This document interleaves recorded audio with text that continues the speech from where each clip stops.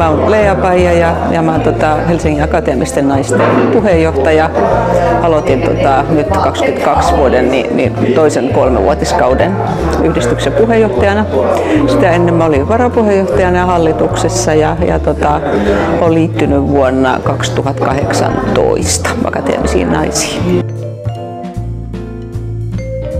Minä olen Leena Lindqvist, olen kotoisin täältä Helsingistä, mutta olen asunut ulkomailla vuodesta 1994, ensin Keski-Euroopassa, lähinnä Belgiassa ja sen jälkeen 16 vuotta Afrikassa. Ja palasin tänne Suomeen viime kesänä. Silloin tuntui, että halusin tehdä vähän jotain ehkä kansainvälisempää, kohtaa, saada vähän kansainvälisempiä kohtaamisia täällä Suomessa ja ryhdyin mentoriksi Luetaan yhdessä ja Auroras-verkostoissa.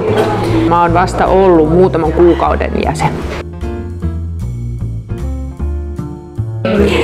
Mun nimi on Sari Nyyberg ja olen liittynyt tähän Helsingin akateemisiin naisiin syksyllä 2021.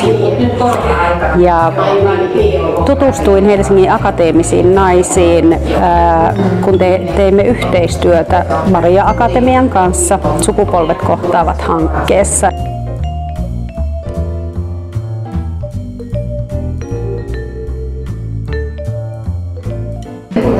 Mä olen Tarja Kokko ja olen aika uusi, uusi jäsen tässä Helsingin Akateemisissa naisissa. Viime syksynä halusin lisää yhteisöllisyyttä elämään, niin jotenkin nämä koronavuodet on ollut todella tylsiä ja katsoin Helsingin Akateemisten naisten sivuja ja näytti mukavalta toiminnalta ja erityisesti kiinnostuin siitä Auroras-toiminnasta, mutta olen huomannut, että, että Helsingin akateemisilla naisilla on monenlaista kivaa tekemistä ja on, on tosiaan piristynyt kovasti näiden mukavien naisten seurassa.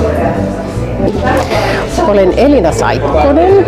Mun mielestä monimuotoisuus. Meitä on niin monenlaisia erilaisia naisia. Sitten meitä yhdistää kuitenkin semmoinen tietyn sortin järkevyys ja fiksuus ja yhteistyö ja toisten auttaminen ja niin edelleen.